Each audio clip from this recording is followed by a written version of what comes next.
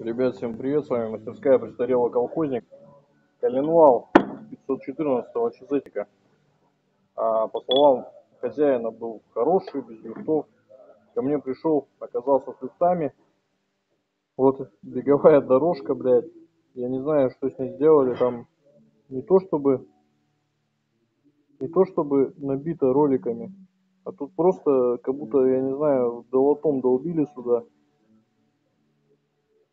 вся поверхность издрочена.